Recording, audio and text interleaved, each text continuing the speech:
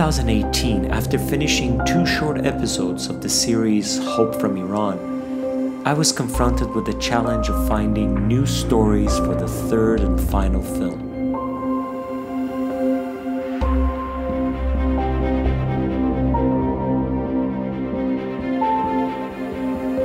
Both characters had to be from Iran, and their stories have to have some sort of connection. Was not sure what would that be. When I first called Habib Zargarpur for a conversation about the film, he immediately agreed to be part of the project. I'm gonna videotape this. Since he is a special effects wizard and worked with the likes of George Lucas and Steven Spielberg, and on top of everything else has two Oscar nominations, had to come up with a parallel story that was as interesting and challenging at the same time. That's when I met Dr. Adrian Eshraghi from the University of Miami. Really never thought these two random stories would have anything in common apart from them being two Iranian Baha'is who left the country right after the revolution. Dr. Eshraghi is an accomplished surgeon and runs a lab that does advanced studies on cochlear implants for people who are deaf. Medical science and technology are advancing. One can expect that in the near future we can have more surgical tools and more devices that can help us to restore various human sense. Cochlear implant and the surgery of the, this device allows for the first time to restore one of the human sense, the sense of hearing. Someone who's completely deaf, who became deaf, can again hear or can hear for the first time if, if the person is born deaf. For people with disabilities, getting one of their senses back is a dream come true. For small children, it's a whole new world of opportunities.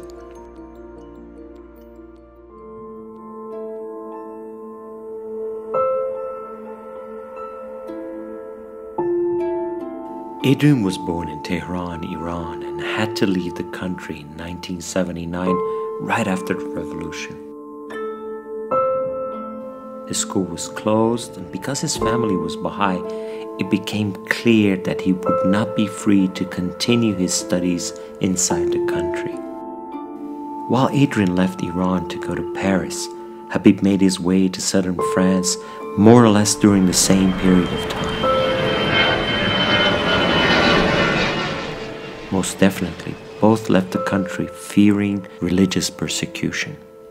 I was born in Iran and um, my parents were, were Baha'is and I, was, I grew up in many countries. That first time when I moved out was difficult. That was the first time I had to cut ties with my friends. After that it got easier and then I started really appreciating seeing more of the world. So at a young age I, I found out, actually when I was 13, I remember, I wanted to be a product designer. I, I felt like I could be technical as well as artistic at the same time. Uh, but the systems are very built towards putting you in one box or the other. And I always had to fight, struggle against that, you know, and, and it was difficult to say, I'm an artist, but I can also be an engineer. And uh, I always looked up to Leonardo da Vinci as an idol. Uh, but the system makes it difficult for you to do both. I found out about Art Center College of Design while I was going to UBC in engineering program. So I applied to Art Center and then uh, got a thick letter back. Through that school, I was able to meet instructors that were teaching us about design for film. That got me super interested in doing uh, that kind of design um, because you had the freedom of making it science fiction or depending on the project, you could you know really use your imagination. That became my entry into the visual effects world and then subsequently worked on IMAX for two years on IMAX films in, in LA and then I got accepted to Industrial Light and Magic George Lucas's company uh, that he'd built to do Star Wars. And so that was my next huge break. the masks we wear. The first project I worked on was The Mask with Jim Carrey. I was responsible for all the shots that where he pulls the mask off his face or the mask gets uh, snapped back on his face. I worked on some of those. Uh, a couple of the Milo dog shots with the mask. And uh, it, it had to have this green gas come off when the mask would, would go on or come off. And uh, that involved particle effects. That, was, that became my specialty.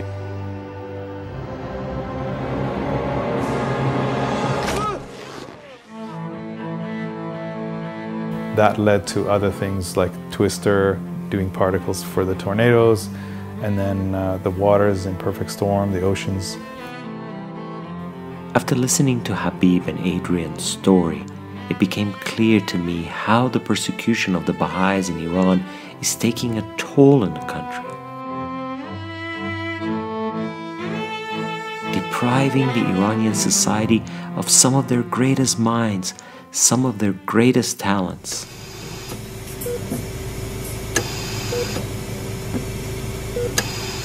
Once we look at the, the time I was doing my medical school and now, so much progress happened.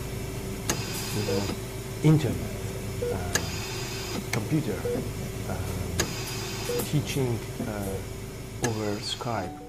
Medical student doesn't go anymore every day to the classroom like before.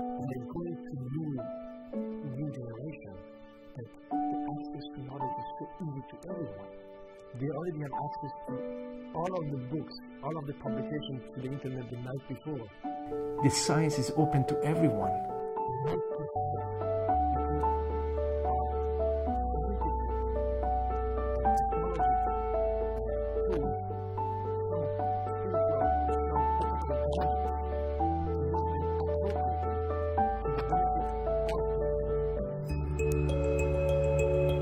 as a physician, as a surgeon, there is no room for mediocrity. You have always to have this quality of compassion. People usually say, oh, this person is blind, and they have pity for him or they are sorry for him.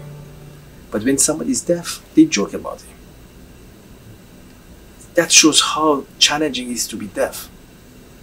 What makes us as a human being is our communication.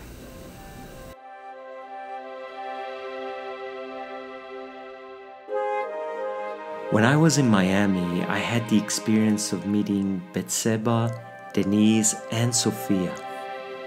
A whole family whose lives were changed by Dr. Eshraghi's expertise. A mother and a daughter who were completely deaf had the chance to hear for the first time after their surgery. Hello, give me five. Hello. when we first came here, we, I came with her, who was having surgery. And actually, Dr. Eshraghi, he said, you know, why she's not in the program. So he waited for us to be registered and get all the documentation, and I really appreciate it. I tell a story everywhere. Thank you. No, no, thank you. Your friends? Yes. Good. A few weeks after the cochlear implant, Sophia went back to the hospital for the first tuning of her device.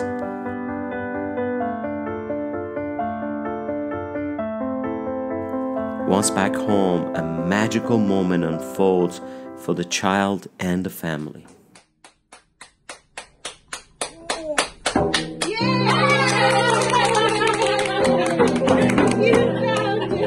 Sophia's story made me think of how many people inside Iran would benefit from these technologies, how many people whose lives would be totally transformed if students were free to continue their research without artificial obstacles.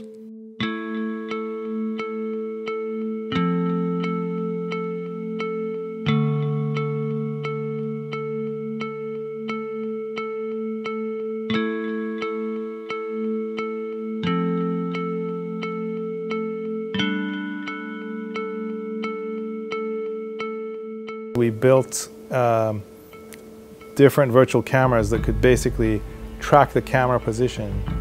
You're holding a camera and you're walking around, but what you're seeing is actually not what the camera is seeing. What you're seeing is what the computer camera is seeing.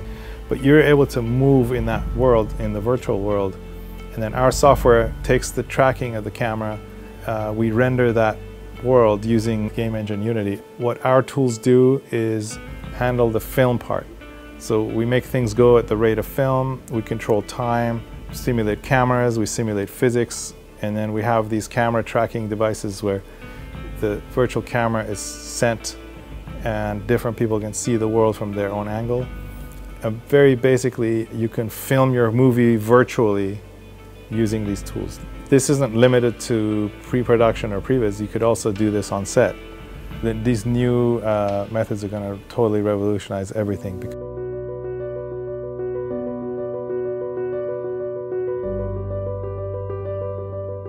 Spoiler alert, Rachael comes back.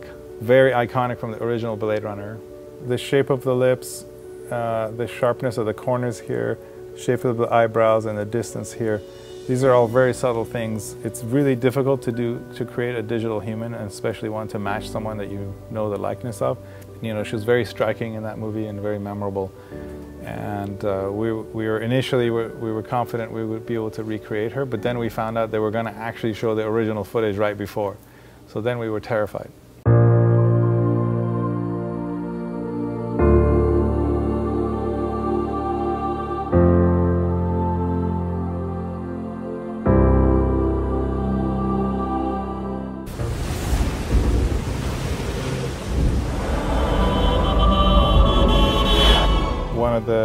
Shots in Twister, we got you got these the barn and then the scale of this tornado with all the debris.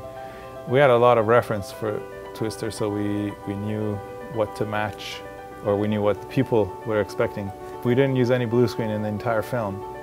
It was all uh, either hand rotoed and, and hand masked and, and hand tracking the cameras, all by hand. There was no Matchmove software back then to track cameras automatically.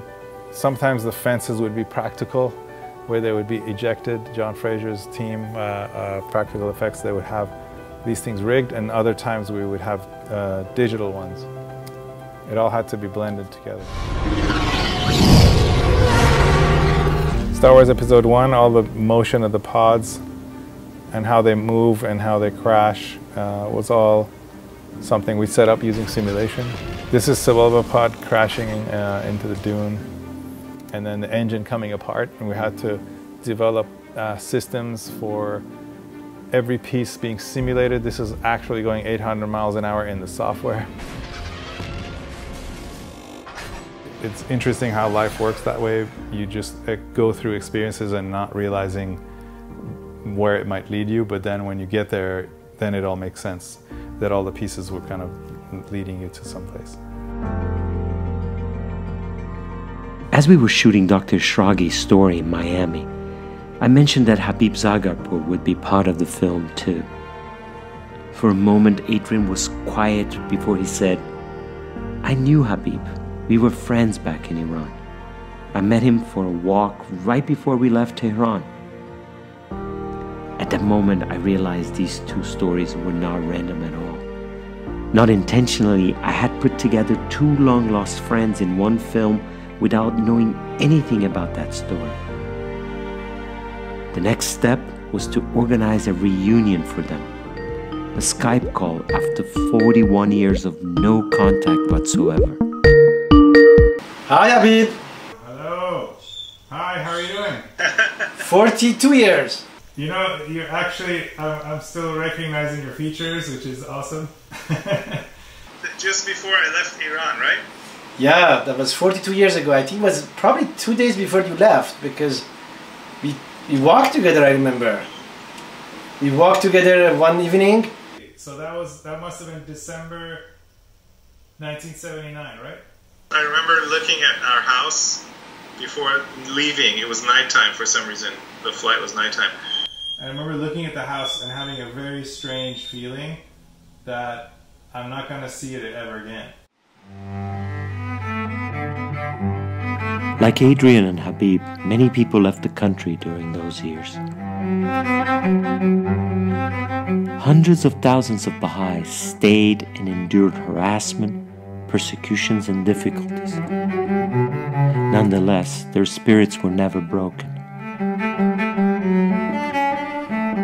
For every new prison, every hardship and tribulation the Baha'is in Iran had to endure, a new wave of constructive resilience took over the hearts of the friends. An ever growing desire to serve the country they so much love and respect.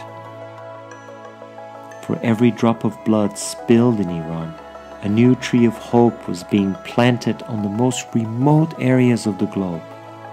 For every sacrifice made for the betterment of the world, one more neighborhood in a small village in Asia, Africa, or the Americas was being open to the message of the divine educator Baha'u'llah, who was born in Iran and whose sole aim was to unify all the peoples of the world under one same banner of love and fellowship.